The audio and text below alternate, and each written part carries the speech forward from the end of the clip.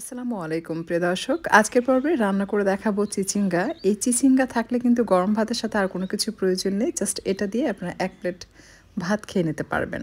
তবে এই চিচিঙ্গাটা চেষ্টা করবেন একদম ফ্রেশ এবং কচি নেওয়ার জন্য। আর যেভাবে রান্না করলে এটা বেশ ঝরঝরে হবে এবং অনেক বেশি খেতে মজার হবে, সেই রেসিপি আপনাদের সাথে শেয়ার করছি।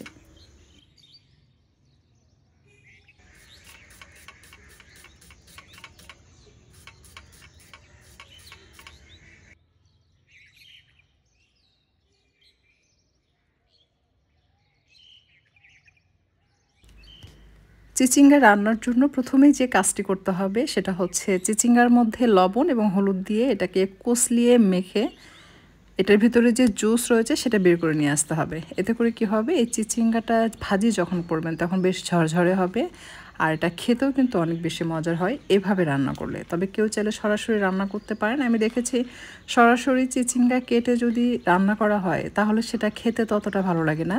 যেভাবে রান্না করলে বেশি ভালো লাগে, সেটাই কিন্তু আমি আপনাদের সাথে শেয়ার করছি। এটা আমি কষলিয়ে এটা জুস বের করে নিয়েছি। এখন যেটা করব, এটা চিপের ভিতরে যত পানি রয়েছে, সেটা আমি ঝরিয়ে ফেলব।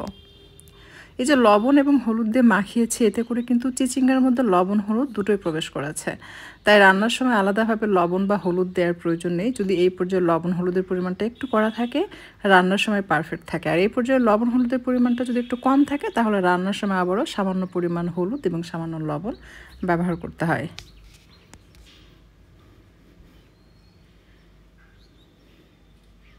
টমেটো রেডি এখন ভাজি করব।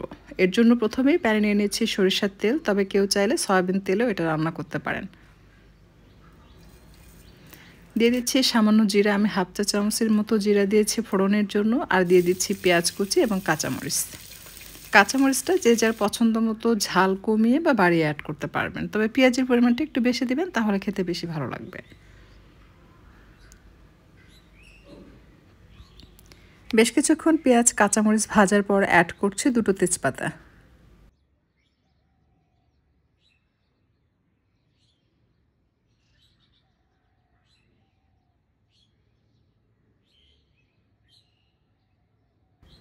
গোল্ডেন হওয়ার আগ পর্যন্ত আমি এটাকে ভেজে নিয়েছি।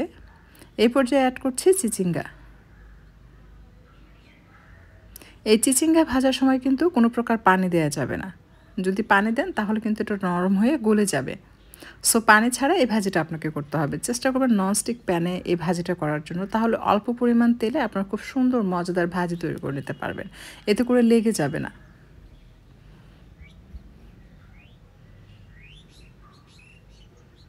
কিছুক্ষণ পর পর এটাকে উল্টিয়ে পাল্টে দিতে হবে। মাঝে মাঝে ঢেকে দিতে হবে, তবে খুব বেশি ঢেকে দেওয়া যাবে না। আমি জাস্ট দুইবার ঢেকে দিয়েছিলাম।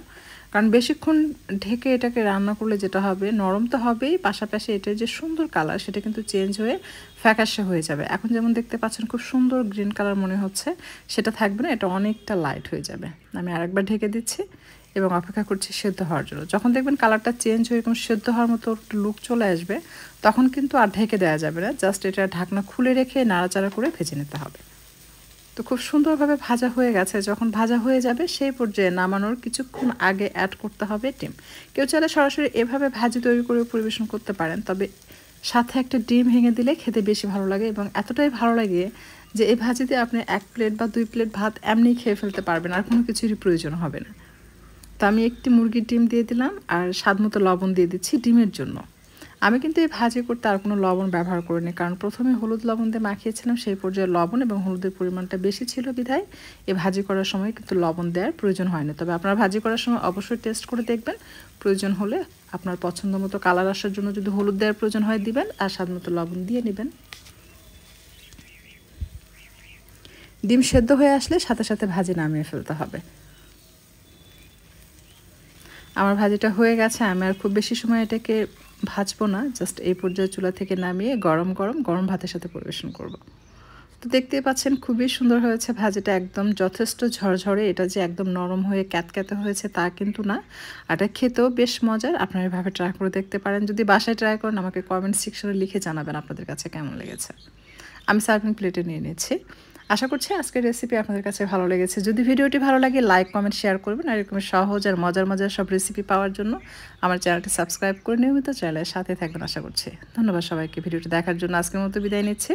আবারও চলে আসব। পরবর্তীতে আপনাদের জন্য মজার কোনো রেসিপি নেয়।